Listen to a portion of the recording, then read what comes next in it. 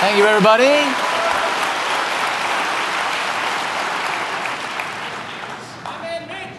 The less, the less of that nonsense, the more questions we can get in. so happy to have you all here. Thank you. Uh, uh, uh, welcome to any of uh, you who are not members of the, of the Purdue family, and, uh, and of course to all the uh, Boilermakers who are here. Thanks for coming out to, what, to, an, to an evening that we've been looking forward to. It's a great thing for any university like ours to have a uh, candidate for President of the United States on the premises, and we're just thrilled that uh, uh, we're about to bring one out here now. I want you to know we've invited all of the uh, three candidates who are on the Indiana ballot. Haven't heard from anybody else yet, but uh, we'd, be, we'd be very tickled if that happened.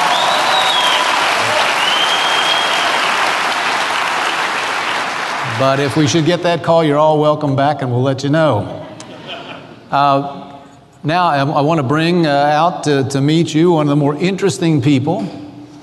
Uh, someone told me a long time ago first duty of a political candidate is to be interesting. And I think this, uh, our guest tonight qualifies. He, was, he started a business from nothing, built it to the biggest contracting firm in his home state. Uh, two terms as governor, during which uh, he left a, the state much better than he found it, but it was an interesting time. Uh, he is reported to have vetoed more bills than the other 49 governors put together during his, during his two terms.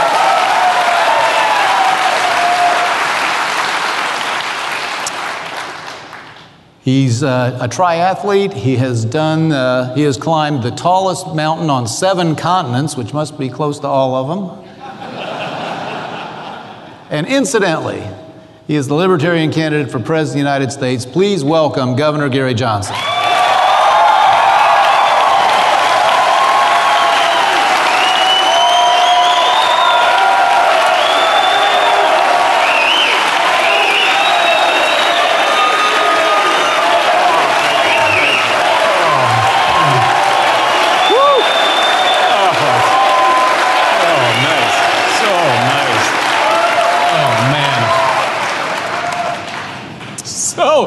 Mitch came out here, and I'm thinking, same experience that I have in New Mexico. Um, New Mexico, peop- uh, New Mexico, people actually wave at me with all five fingers, not just one.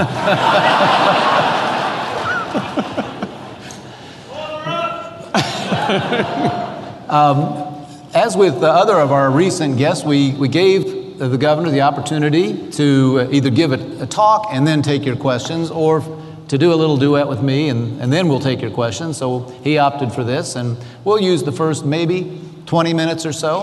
I assume we have microphones. We do. And so, uh, somewhere along about that time, those of you who can summon the nerve, please come to the mics and we'll, we'll uh, let you take over uh, the questioning. And uh, you heard me say questioning. Uh, I'll remind you about that when the time comes. Um, uh, let me start with the question I'm really most interested in. What's harder, the Ironman or climbing Mount Everest?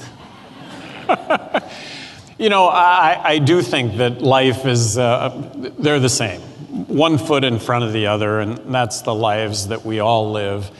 I do think that um, anything that can go wrong uh, will go wrong, and it's something that we should just all plan on and it's how we deal with uh, adversity uh, that ultimately determines success. So just plan on anything that can go wrong, will go wrong.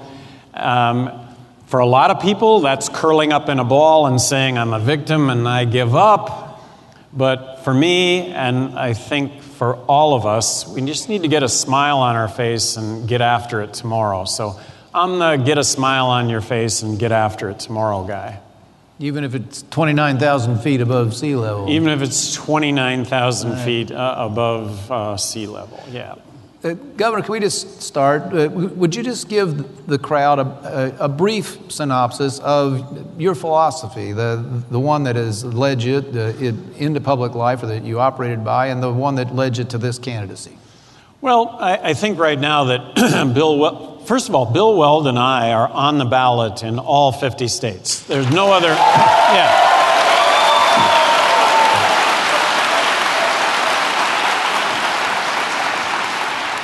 Nobody else can lay claim to that. And I think that we're speaking on behalf of the majority of Americans. I think we're speaking on behalf of 60% of Americans when I say the following that we are fiscally responsible, uh, that we're for smaller government, that when government taxes you or I, that's money that we could be spending on our lives as opposed to government telling us how to live our lives.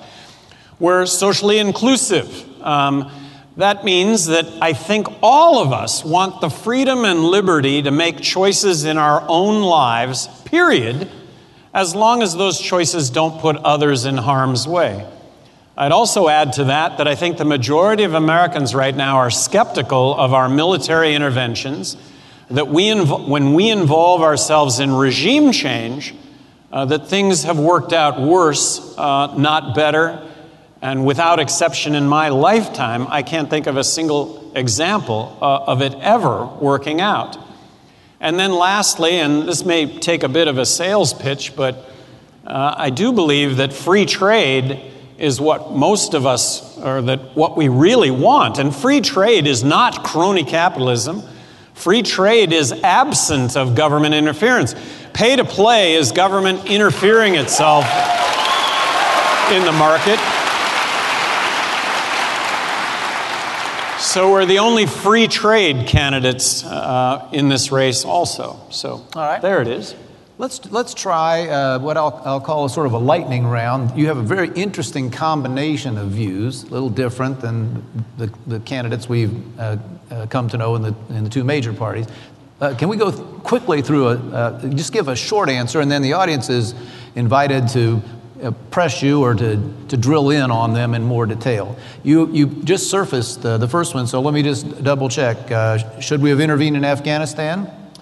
Uh, by intervened in Afghanistan, we were attacked, we attacked back. I supported Afghanistan. But after seven months of being in Afghanistan, we wiped out Al Qaeda. We should have gotten out after seven months. I think we should get out tomorrow. And the consequences of getting out tomorrow will be the same as the consequences if we get out 20 years from now. And I think that we can more than mitigate that situation tomorrow. Same answer for Iraq? No, uh, with regard to Iraq, um, I said at the time, we have the military surveillance capability to see Iraq roll out any weapons of mass destruction. And if they do that, we can deal with it if, in fact, that happens. So um, I was against the invasion of Iraq. Hey, uh, Assyria? That's where that Aleppo is. Aleppo, Thank you. He invited me to say something about Aleppo. I want Syria is regime change, and I oppose regime change. So, Aleppo, at the epicenter of what's happening uh, in Syria, and please, if I'm wrong on any of this, follow up with your question, but let's see, we've got the eastern side of Aleppo, which is um, uh, the Syrian regime, Assad, and they are fighting the Free Syrian Army, which we support, but they're allied with Islamists that we don't support. And so we arm, so we arm the Free Syrian Army, and those arms end up in the um, in the uh, Islamists' hands. And then we've got uh, Raqqa to the north, which is ISIS, which was really uh, created when we invaded Iraq and all of Saddam's henchmen fled to that area. And ISIS was a term, of course, we didn't even hear until a couple of years ago. But we're supporting the Kurds against ISIS. But the Kurds are sideways with our ally Turkey, who isn't such a good ally anymore because we invaded Iraq in the first place. Are you getting just how complicated this becomes when you get involved in a civil war? And as horrible as these situations are, because we got involved in this because the situation was horrible, look how much worse it has become. And I have said now for months that the only way we're going to find ourselves getting out of Syria is to join hands with Russia diplomatically to make this happen. So I applaud Secretary Kerry and the fact that, uh, that this may come about, but um, look, we're going to support the Free Syrian Army, and then the Free Syrian Army now is going to turn and fight against those that, have, that it has been fighting with arm in arm.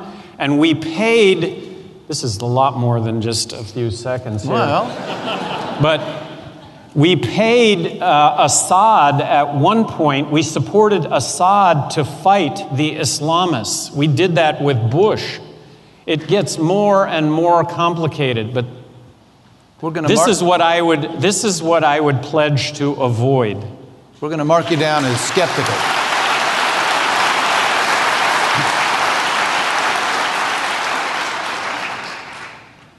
Drug legalization. We should legalize marijuana. In 1999,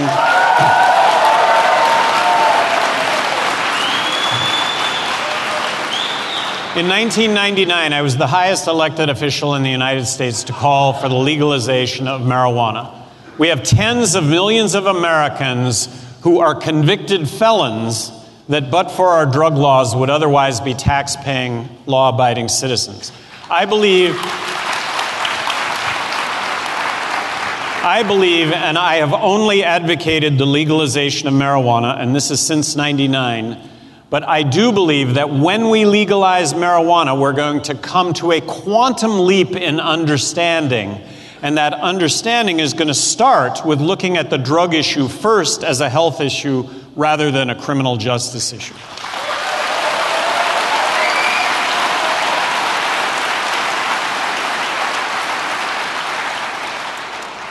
The right to bear arms. I support the right to bear arms, period.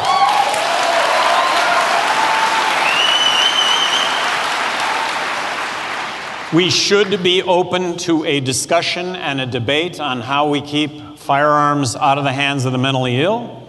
We should be open to a debate and a discussion on how we keep guns out of the hands of would be terrorists. As President of the United States, I would love to know what transpired between the FBI and the shooter in Orlando, given that obviously the system worked up to a certain point but then broke down. Energy subsidies. Uh, I'm opposed to energy subsidies. Uh, if, uh, if you just look at um, um, ethanol as an example, I, I believe it costs. Uh, I believe it costs more or takes more energy to produce ethanol than it produces. Now, the problem with energy subsidies are is that you know you point at the good, but then you also have to point along with the bad. And energy subsidies under a Johnson administration would be administered 100% correctly, but at some point um, I'm going to leave office. And I do say that facetiously also. Depending on the person in office, um, it may be a good thing, but if you allow for subsidies in the first place, which is a distortion of the marketplace, um, where, where do you draw those lines? And it might work with a particular given administration, but then it doesn't work with the next administration. The death penalty. As governor of New Mexico, I reversed myself on the death penalty. I always thought that, uh, that, well, I do still believe in an eye for an eye. But what I came to recognize is, is that the error rate on the death penalty may be as high as 4%. I don't want to put one innocent person to death to punish 999 that are guilty, much less four to death that when it, where 96 are guilty. When I was governor of New Mexico, uh, Governor Ryan from Illinois ordered a review of 36 inmates on death row. And because of DNA testing, they were able to categorically prove that over 20 of them were innocent and they were released from prison. This is flawed public policy.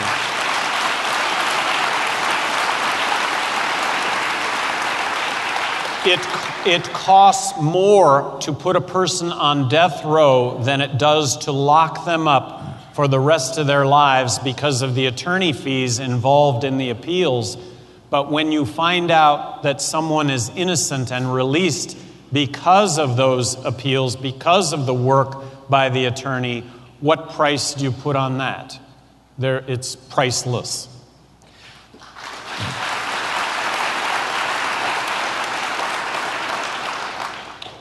So let's finish uh, a subject that you were dealing with uh, a long time ago as a border state governor immigration.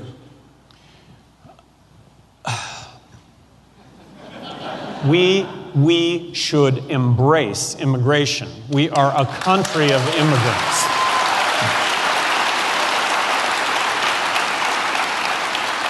I am speaking as a border state governor, and I will tell you that this whole immigration uh, issue with regard to Mexico is a political boogeyman. It doesn't exist. They are cream of the crop when it comes to workers.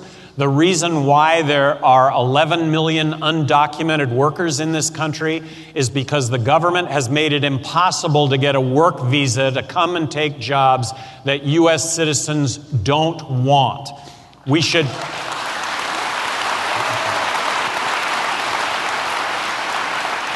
We should make it as easy as possible for anybody that wants to come into this country and work to be able to get a work visa, and a work visa should entail a background check and a social security card that applicable taxes get paid.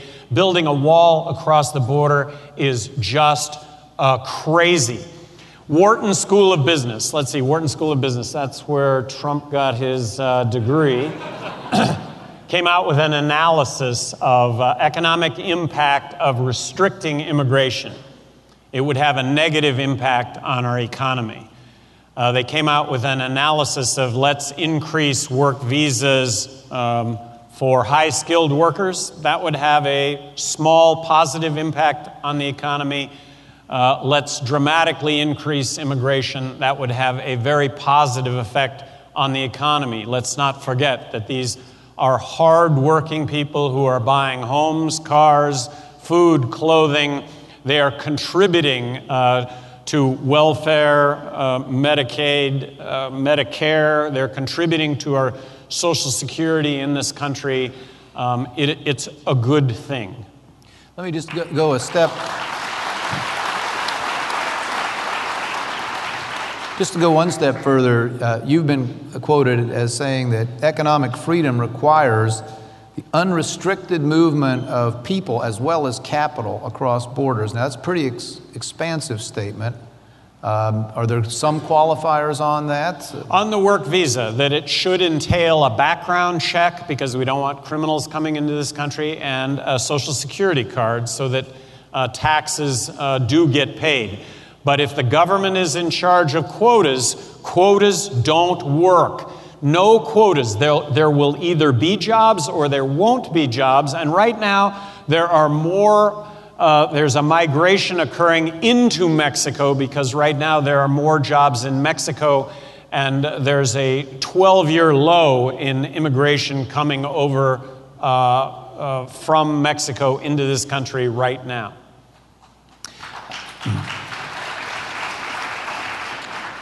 So I've got a couple more uh, questions that'll take a couple minutes, I suspect, for the governor to address, but it's not too soon for any of you who are uh, moved to do so to uh, come to the mics, and as I see people there, we'll, we'll make the switch. Um, you have called for another rather bold proposal, a 20% reduction in defense spending. Um, and um, you know, some would observe defense spending is now at the lowest levels of percentage of the economy, just over three that it's ever been, and that inside of that, a lot of it is now consumed with health care and things that don't directly um, uh, defend the uh, United States. Are you sure that you could bring off a 20% reduction and still promise Americans they were safe? Well, uh, first of all, um, I've heard those same statistics that here it is, we are at this multi decade low or decade low when it comes to funding the military, and come to find out it's just not the case. But I will tell you that it's out there and that it's prominent, but it's not the case. Look, um, we should have an invincible national defense. Um, and I There have been two polls now in the last six weeks among active military personnel, and I am their choice for President of the United States.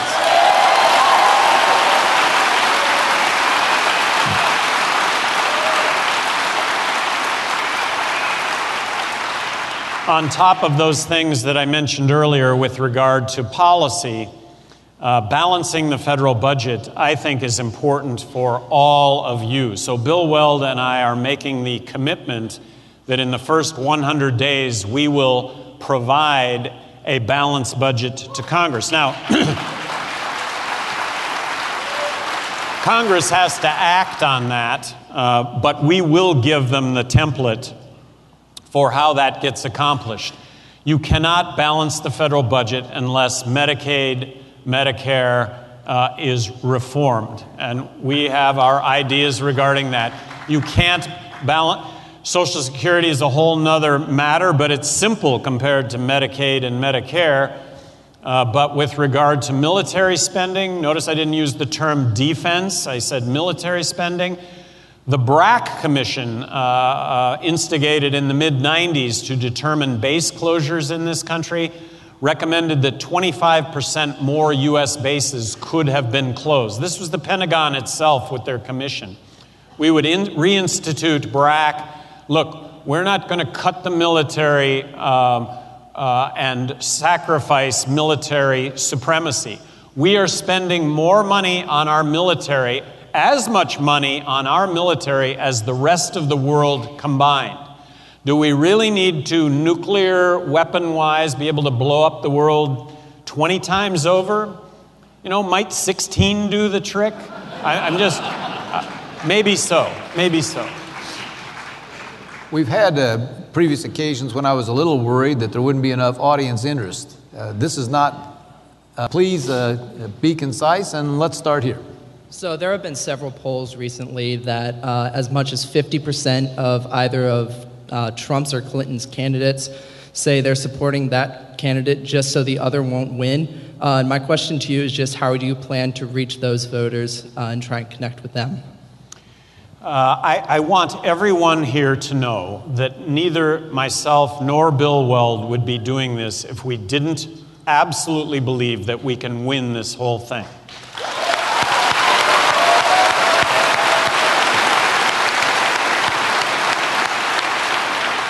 And to all of your friends, coworkers, family that say the same thing, and I know that you hear it, a wasted vote is voting for somebody you don't believe in. That's a wasted vote.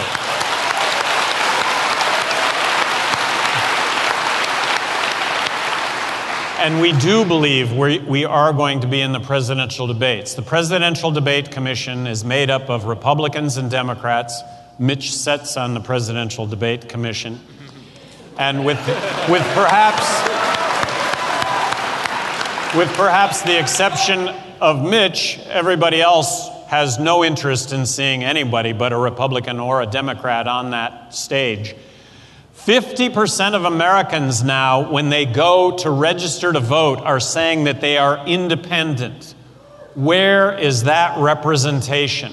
Look, this has gotten just so far out of kilter that this is a two party system that needs crashing. And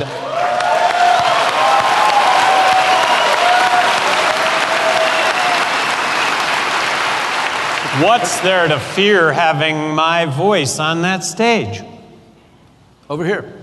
Good afternoon, sir. My name is Cash Jackson. Uh, I'm just going to ask for just a moment of grace. I'm a 20 uh, year United States Navy veteran. I retired two weeks ago.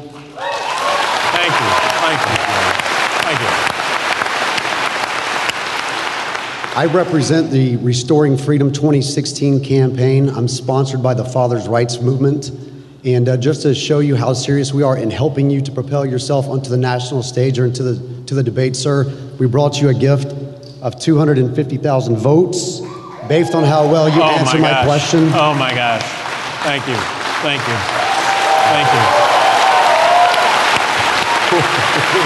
Thank you very much. Thank you. Thank you.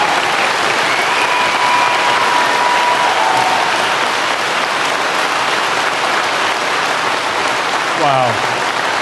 Wow. Thank you, sir. Thank you very much. Over here. I feel bad. I left my banner at home. Um, I, I do have a question, though. Um, I'm a network engineer, works for a major telecom company who has significant government contracts. Uh, obviously, when we go back, when you've said about the 20% cut in spending, uh, it makes a lot of salespeople that I know cry because that's a lot of money that they're losing. But my question is really on Wall Street and also with these businesses, when they hear that, what has been the feedback that you have received from these companies with that type of cut, you know, in government spending? Well, first of all, excuse me.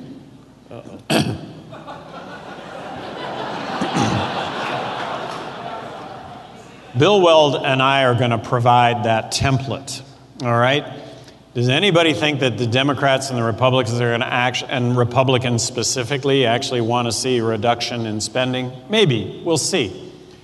But if we just had a 2% increase in spending, just a 2% real increase in spending, coupled with historic economic growth in this country, there would be a balanced budget in five years. But I do believe, I do believe that there is 20% excess in government. And in New Mexico in 2012, Rick Perry was beating his chest over the fact that he had the best record of jobs of any candidate running in 2012. Well, they did an analysis and it was actually Johnson. And And I said then what I would say what I say today. I didn't create one single job as governor of New Mexico. Private sector creates jobs, government doesn't create jobs.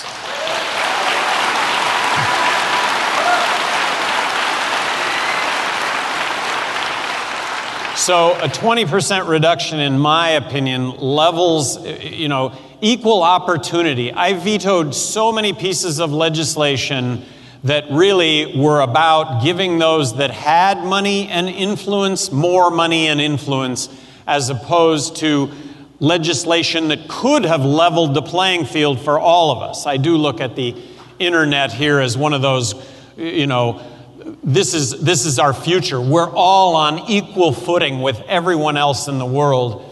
And I am going off on a tangent here.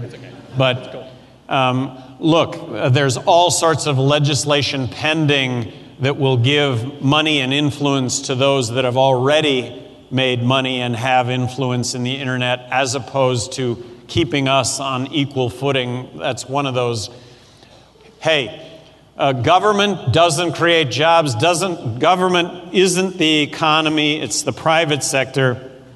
And if you just leave the private sector alone, if you just give them uh, consistency, if you just give them certainty that taxes are not going to go up, if rules and regulations are going to get better, and I'm speaking now not from a health and safety standpoint, but just from a regulatory standpoint of making it easier to live our lives. I can't tell you how many pieces of legislation I vetoed that was just going to add time and money to our lives. So I think the other side of government contracts getting lost is going to be more than made up with the certainty on the private side. Thank you. Yes, sir. I'm sorry, I, I, I didn't get to I'm ask my question. I apologize. Uh, sir, I want to know will you defund Title 4D of the Social Security Act, which takes money from Social Security, incentivizes state courts to take one parent, normally the father, reduces them down to a visitor to justify a child support order so that the state can receive money through Title 4D of the Social Security Act? Because for every dollar that the state is spending in child support enforcement, based on their performance of that collection process, uh, they can then take myself as a father and give me less than 20% of time with my children. And that is resulting in over 20 million American children growing up without a biological parent. So, um, one, of the, one of the programs that I had as governor of New Mexico, and no other actually, Frank Keating did it, but um, he didn't do it his entire eight years. But for eight years, I had a policy in New Mexico that I called Open Door After Four, where I met with any resident of the state of New Mexico the third Thursday of every month, starting at 4 o'clock in the afternoon till 10 at night on five minute increments. My roundabout story here is, is that I am aware of just what you're talking about, having talked to hundreds over those years in that same position that you're in. As President of the United States, I will do everything I can to address this inequality that, in fact, does exist.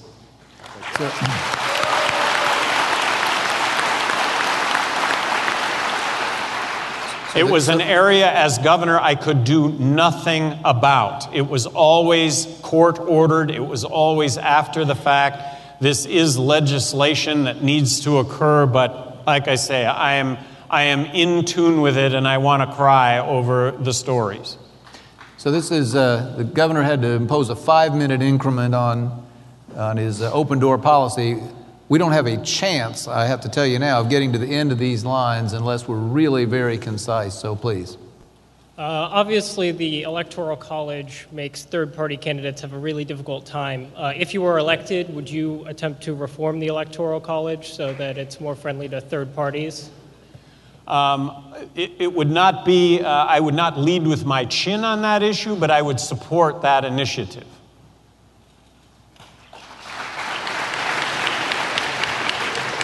Uh, hello, my name is Rick Case, and I am not quite sold on libertarianism.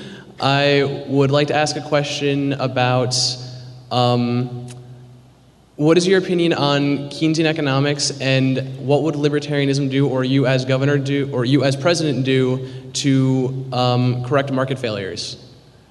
Well, that uh, certainly market failures exist with regard to free market, but in the case of 2008, those, uh, those Wall Street firms that made horrible choices should have been allowed to fail.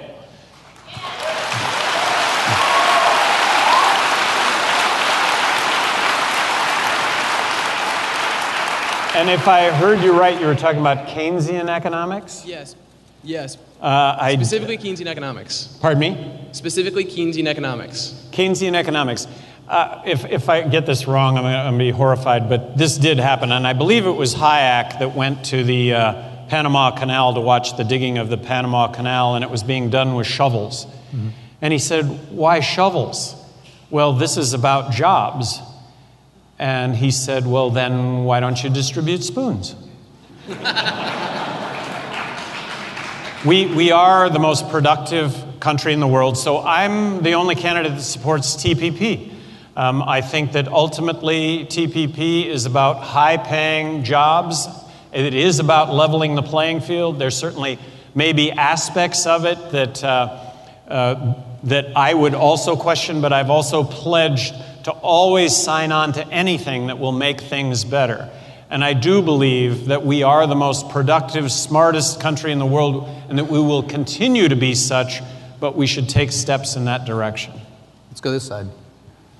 Governor Johnson, my name is Charles Larrivee, and I'm a senior in history here at Purdue. Now, in your opening remarks and in several of the questions that you have answered, you've stated such things as wanting to cut defense spending and basically decrease America's involvement in the world stage.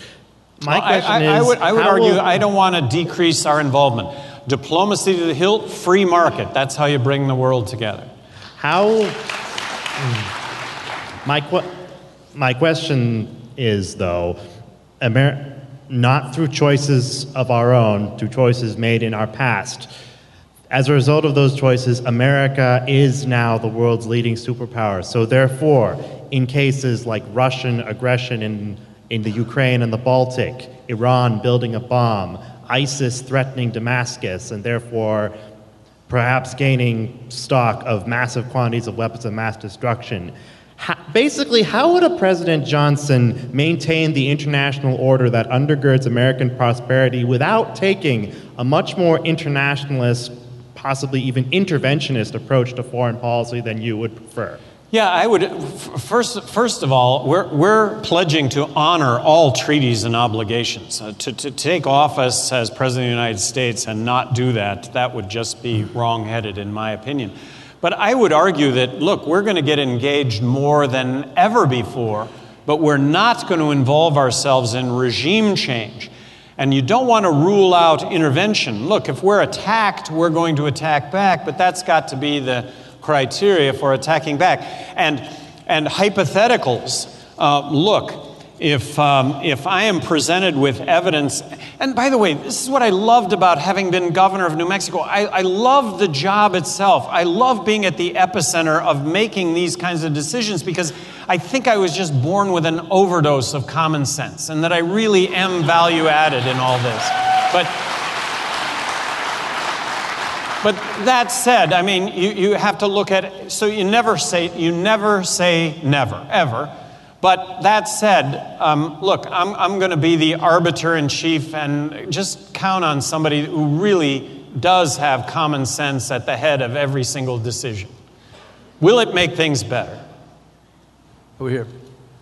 First off, uh, I want to thank President Daniels for allowing this free exchange of ideas, which is a cornerstone of the American Yeah, Republic. The fact that you allow this makes me proud to be a Purdue graduate. But my question for the governor is really two. One, um, your stance on the United Nations. Would the United States leave? And the second is, um, on Stossel, you said that you know bakers should be forced to make cakes for people that they don't necessarily agree with. Is that a misstatement, or is there more a more clear explanation that you'd like to give? Uh, well, let's see. United Nations. I would stay fully involved in the United Nations. I, I, I like the concept of, of, of world peace and uh, joining arm, joining hands, and diplomacy. Um, the question had to do with uh, religious freedom legislation that, in my opinion, um, as I have seen it, uh, is really just veiled legislation that discriminates against the les- LGBT communities, in my opinion. Specifically regarding the baker, if you uh, let's let's see the uh, Jewish cake baker, the Nazi wants to come in and have his cake decorated. Uh, if that were specific legislation, I'd ink that legislation allowing for that discrimination.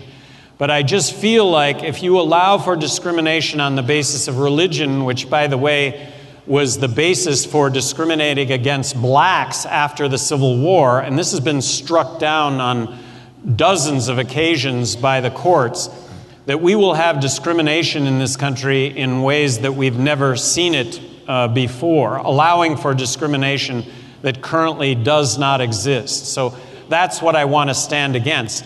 What I stand for is freedom of religion. Look, if you happen to be uh, Jewish and you don't want to host a Christian reception at your synagogue, hey, uh, I'm, you, you shouldn't have to do that. If, you're, if you are, belong to a church that does not believe in, uh, in uh, gay weddings, you do not have to perform a, a gay wedding in your church. So that, that is legislation that passed in Utah, really model legislation in Utah, uh, and could be looked at uh, by states nationwide.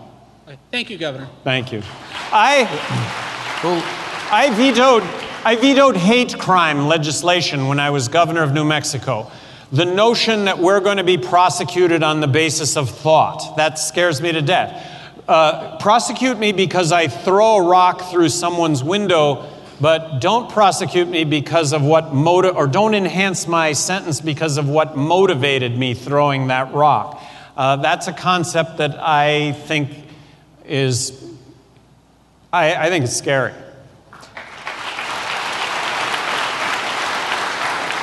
So let's go, uh, I think it's the west side, west.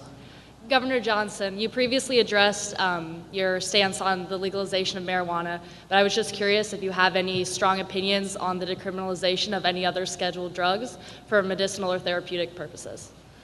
Well, uh, I do think that, um, that when, when you look at what we really care about, which is harm reduction, on harm reduction, reducing death, disease, crime, and corruption, um, that, at the, that 90% of the drug problem is prohibition related, not use related, and that is not to discount the problems with use and abuse. So when you look at overdose of any kind whatsoever, that's quality, quantity unknown. Uh, and if we will just begin to recognize that and recognize that people have health problems and, and they, they're making horrible personal choices, but when you put them in jail over those choices, you've compounded that problem tenfold. East. Governor, I read that you support term limits. With a Congress full of career politicians, how would you go about Im- implementing that? So, right now, there's, and I'm sorry I'm going to get the name of the group wrong, but I do believe term limits would be a silver bullet on the system. That.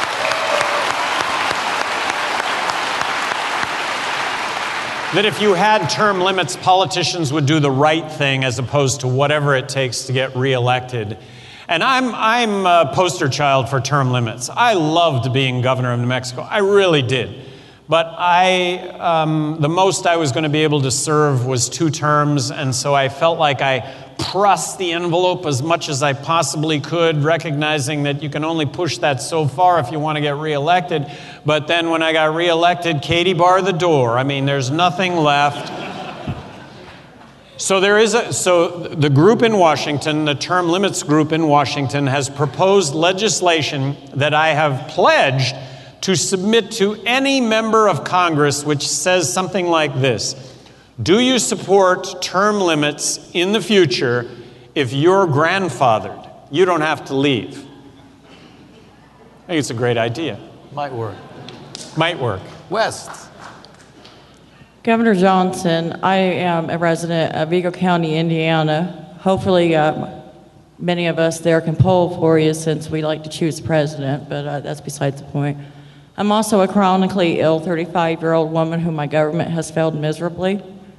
Where, where do we cross between the federal and state rights when a woman in Indiana can have an abortion, but I'm forced to put synth- synthetic opiates and benzodiazepines in my body, and I am not allowed to make the choice just for marijuana?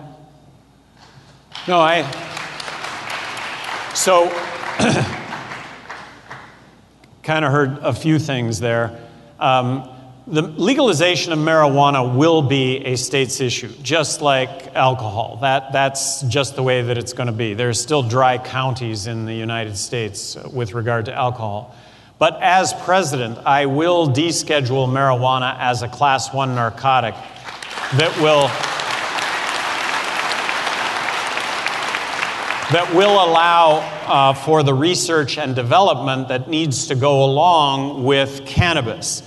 Cannabis doesn't kill anybody. There's not been one statistical death that has been registered as a result of cannabis consumption on the medicinal side, directly competing with legal prescription drugs that kill 30,000 people a year. Seems to me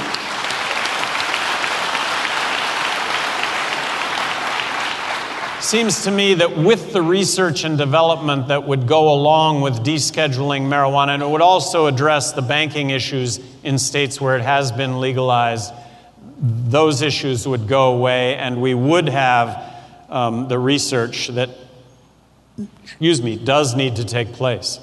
Thank you, sir. Governor Johnson, uh, North Korea just conducted their fifth nuclear test Friday. How would you handle that situation? What I've been saying now for four months is, is that the biggest threat in the world is North Korea. And that at some point, these intercontinental ballistic missiles are going to actually work. So the only solution to North Korea is joining hands with China to resolve this diplomatically. That's the only way this is going to happen. We have 40,000 troops in South Korea. There is zero chance that North Korea invades South Korea conventionally. Zero chance. They could start lobbing nuclear, weapon, nuclear warheads over the border, we've got them covered with our umbrella, but am I pointing out to you why this is the most dangerous place in the world right now? It's an opportunity for us to get our 40,000 troops out of South Korea. Imagine if there were 40,000 troops, 40,000 Chinese troops in Central America. We would be going crazy. But it's an opportunity here to make the world a safer place, not going to happen without China. Hello. I know there's been some talk amongst libertarians about if Weld was the correct choice for you. I know Ron Paul had uh, was questioning that choice. Can you defend him as your VP candidate and why he's good for a libertarian ticket? Well, um, from a personal standpoint, uh, Bill Weld was my political role model. Uh, he had served one term prior to my taking over as governor of New Mexico, so we interlapped. And Bill Weld was known as the smartest governor in the room. Um, Bill Weld was known as the fiscally most conservative governor in the United States, according to the Cato Institute. In 1997, Bill, uh, Bill Clinton asked uh, Bill Weld to be ambassador to Mexico. And let me refresh your memories uh, or just tell you about this. But 1997. Uh, Jesse Helms blocked his nomination to be Secretary of, uh, uh, excuse me, Ambassador to Mexico in 1997 because Bill Weld was pro choice, he was pro gay rights, uh, and he was pro medical marijuana. This was in 1997. So, for me to have Bill Weld as a running mate, this is beyond my wildest dreams or expectations, and I fully believe that half of what is happening would not be happening but for Bill Weld. I think we have an opportunity to actually win. Two former Republican governors serving in heavily Democrat states, making a name for ourselves being fiscally conservative and socially inclusive.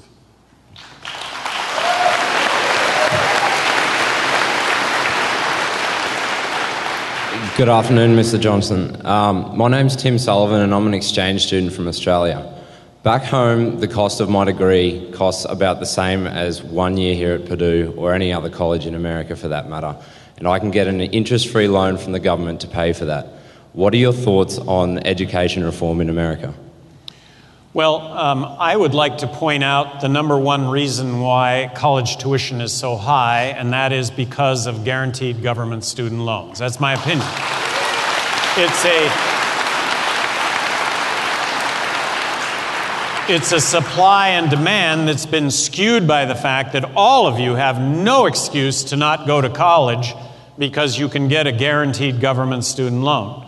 If they never existed, I believe the college tuition today would be half of what it is because colleges and universities would want to fill up their classrooms and they would do the things that they would have to do to fill up those classrooms, namely lower the cost of college tuition. If everybody boycotted college next year because of the high costs, guess what's going to happen to those high costs? They're going to drop dramatically. But I think students have been sold a bill of goods. I think you all are graduating from college with a, uh, with a uh, home mortgage without the home. Uh, and that um, you're talking about students at other universities. Students at the other universities, right?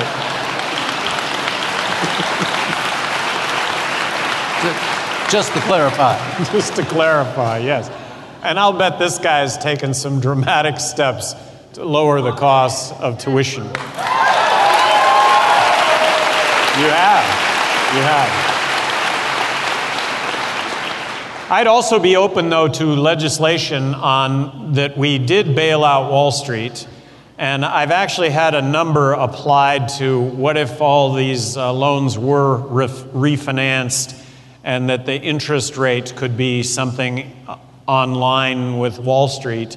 And I heard that that number was somewhere in the vicinity of $60 billion in lieu of the fact that, um, at least until a couple of weeks ago, this was the number one category of debt in the United States, uh, I think that it's worth looking at. I, I do. I think it, it avoids a bigger catastrophe in the future.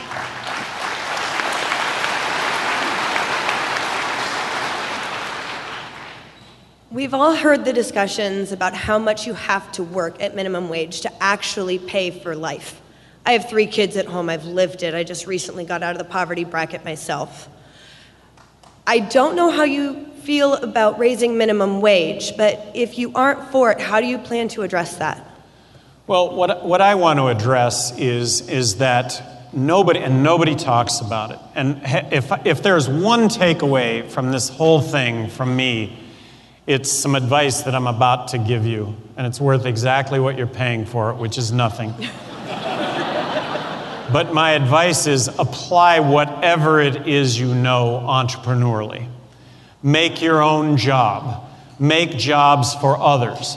So I think the model and government can play a huge role in this, making that very or much, much easier when in fact what they're doing is they're making it more and more difficult. I really believe that the model of the future is Uber, Airbnb, it's the sharing economy. I think we've just seen the tip of the iceberg regarding the future economy. I think the future economy is Uber everything.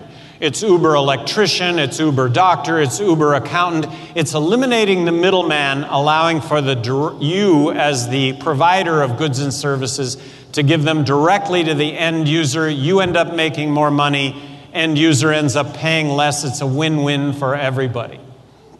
This way.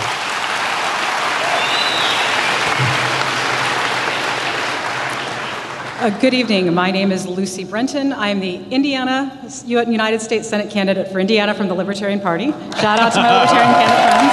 Thank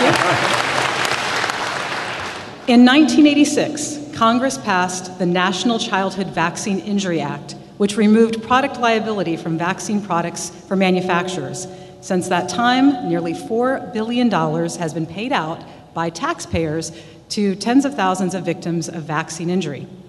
So, my question is from my voting block, which is this If you are pro choice about a woman, about what a woman takes out of her body, are you also pro choice about what people want to avoid having put into their body? So, vaccines. I support your choice as to whether or not you should be able to have a vaccine. Now, um, there is, there is conjecture over, over um, herd immunization to my knowledge, and this is a state issue, by the way, to my knowledge, no one is denied opt out of vaccines anywhere in this country if they so cho- choose to opt out of vaccines. Unfortunately, California just passed SB 277, and now you cannot take advantage of your public right, your right to a public education unless you are also forcibly vaccinated. So we're fighting that. So, okay.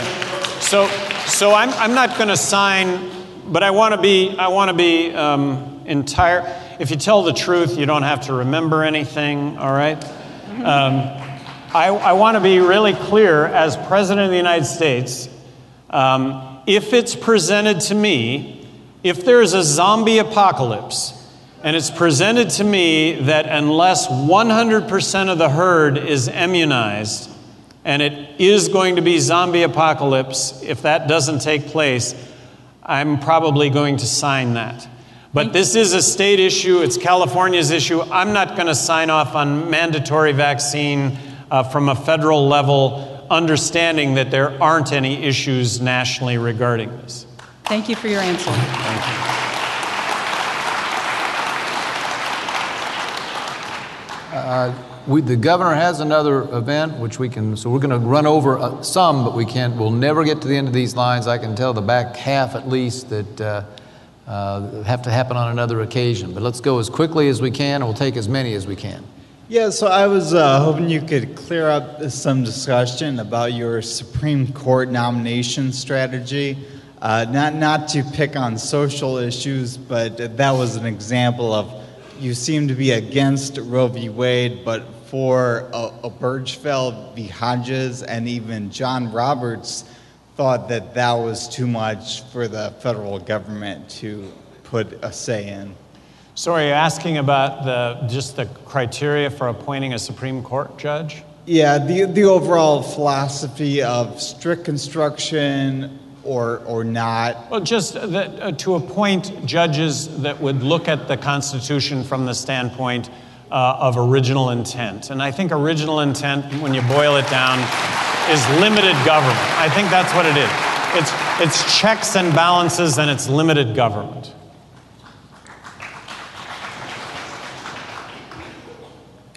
Human generated gases cause climate change, yes or no? Federal government's support for medical and scientific research, more or less or none? Aid to Israel, more or less or none? Uh, 20% less in all those categories. In the first one, I, I uh, diagnosed with uh, celiac disease. I'm allergic to gluten. Uh, yes, uh, before I found that out, I was contributing to um, gas emission.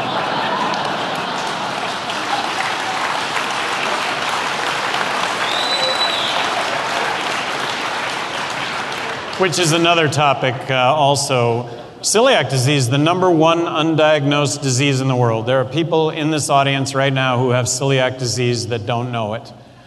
And if you're using antacids, um, that's a real telltale. Um, that just masks the symptoms of celiac disease. You don't have gas every time you eat. I've never shared this before with, with what'll be. You've, You've never faced this erudite an audience before. So we heard, I think we heard you say 20% less for Israel, 20%, 20% less, less for Israel. for medical research. Medical research. And that's a 20%, that's the template that we will provide to balance the federal budget. This way. Uh, yes, Governor Johnson. Uh, I just want you uh, to hear you clarify on this drug policy issue. Uh, so, would you advocate the Congress um, uh, adopt a Portugal's drug policies with the success that they've had, uh, shifting it from uh, jailing and correctional issue to a, uh, a public health issue. I really believe that this will be uh, states' issue, state by state. This is, this is where it's going to happen, but I will be a, um, uh, I'll be glad to be, uh, give testimony anywhere that it's wanted to recognize what's happened in Portugal, uh, to recognize what's happened in Vancouver, to recognize what's happened in Zurich, Switzerland. Thank you.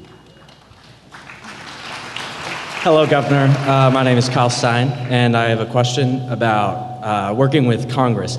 So, obviously, there's only two parties right now in Congress, both Republican and Democrat, uh, and no libertarians as of right now. So, how would you be able to work with them to make sure the things that you're saying get done, and so we won't have such a polarized Congress. Maybe this is a good good place to end, and there's no reason to end. I can go all. I I I, I do love this. Thank you all, but crux question. Look, if we elect Trump or we elect Clinton, does anybody think that the polarization in Congress is going to get any better? Nobody thinks that. Nobody, and rightfully so. It's not. They want to they want to kill each other. Third scenario. Weld and Johnson get elected. Big six-lane highway down the middle. Appointing an administration made up of Democrats, Republicans, libertarians. Everybody's going to be libertarian leaning really humorously, if you will, standing by the sidelines and calling both sides out for just how Come on, just get it together. Republicans, you want to you want to cut government, you want to make the government smaller, but all I see is uh, eliminating Planned Parenthood. Come on. Come on. Let's I think you could make a case that the third scenario I pointed out at least has the possibility of succeeding. Thank, Thank you, Governor.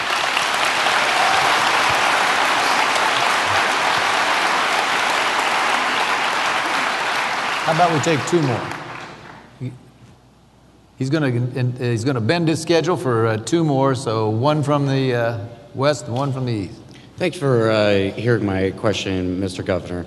Um, my name is Christopher Marks. I'm from the Indiana Miami Nation. I'm sorry, the Indiana Miami peoples, Indian the indigenous peoples Miami that are from Indiana State. Um, what I'd like to ask from you is what will uh, what preventative measures or corrective measures will you actually take against the states for committing racketeering activities of a federally prohibited nature of kidnapping and extortion through the departments of Title IV, or through the De- Department of Child Services, wherein they kidnap the, the people's children and then extort monies from them, even the non uh, the non-offending parents. Well, well Sounds you know, like yeah, it, it, little, little over. I, I'm, I'm understanding what you're saying to the point that I don't understand what you're saying. But federal, federal role in all this may be if, if there are, if, if any state is um, sideways with the United States Constitution, which it sounds like that's the preface for all of this, that's where the federal government does have a role. I do plan on having an open door after four policy as President of the United States. I, I know that that sounds pretty audacious, but um, um, I do plan on having that. So, uh, Mitch and I, Mitch will decipher what you've said to me, and at least I'll be educated when we leave stage. Anyway, Okay. thank you. and we'll take the next, we'll take the gentleman in the red shirt right after we get this one, and that'll, that'll wrap it up. Hello, my name is Jeremiah Rice, a resident from West Lafayette, Indiana, and I got a couple of questions, some for myself and a question for this gentleman as well. So hopefully we can share them, I say, if that's all right. All right, cool, thank you. Um, so my question, because um, I attended school with a disability known as Asperger's syndrome, a higher functioning uh, version of autism. And I got a couple questions for you. What sorts of uh, plans do you have for education as far as uh, preschool, K through 12, higher education, and do you have any programs for special needs people like with uh, autism or Down syndrome or any of those categories? Does that make sense? Yeah, yeah, totally. Um, so, um, as governor of New Mexico, I was more outspoken than any governor in the country regarding school choice. Um, I proposed a full blown voucher system in New Mexico for six straight years, believing that if we could bring competition to public education, it would vastly improve education. And talking about specific needs in the state of New Mexico, I thought that this was a way to potentially segregate those needs and actually be able to more effectively deliver on those needs. As President of the United States, uh, the Department of Education, let, let me just for a second, Indiana gives the Department of Education 13 cents. They get, you know, it's your money. You give it to Washington. They send you back 11 cents. How do you like that um, wash and dry cycle? That doesn't and, make sense. And then they tell you, and then they tell you that to get your 11 cents, you have to do A, B, C, D, and E. And to do A, B, C, D, and E, it costs Indiana 15 cents to do it. So why not keep the six cents at the, at the very start, not give it to Washington, deal with it in the state of Indiana and 50 laboratories of innovation and best practice, the states, you'll actually have some fabulous innovation. So I'd like to get the federal government out of the educational business completely. And I think I think most people think the Federal Department of Education was established under George Washington. Uh, the Federal Department of Education was established under Jimmy Carter. Really, it's leave it to the states. Um, education moves forward with great leaps and bounds. Education moves forward in, with great leaps and bounds when it comes to addressing special needs. Thank you, Governor Gary, and I hope I can get a p- picture with you here soon. Appreciate it. Thank you. I bet this is going to be a really good one. Um, hello, Governor. I'd first like to say thank you for um, taking time out of your schedule to come here, and secondly, for opening the floor to um, questioning. Um, my question is if you were elected as President of the United States, what would be your first order of business on uh, day one as President? We are pledging that balanced budget. So that's going to be immersion. That's uh, our first 100 days. That's going to be every day. That's going to, how do you,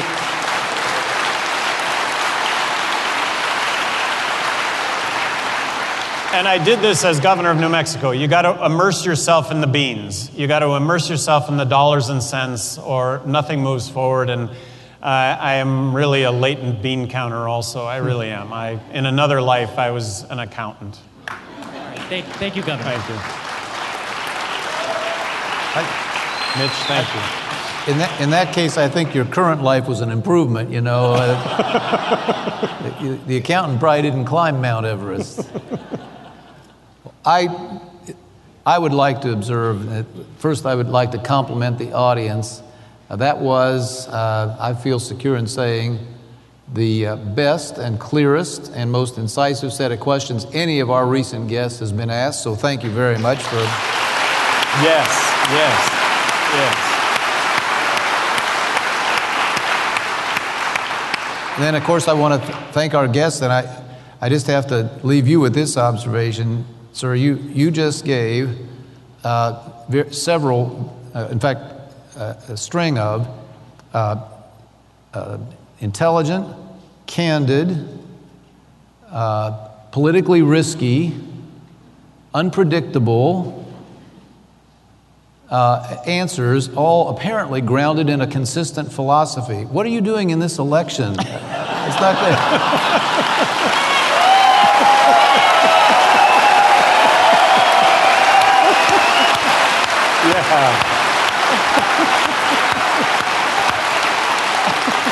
Thank you, Governor Gary Johnson. Thanks to each of you.